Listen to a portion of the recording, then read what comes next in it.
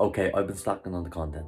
You see, I've just been so busy between building the studio and trying to set up the brand efficiently, doing a business course, all of that. And it's just a lot to keep on top of content.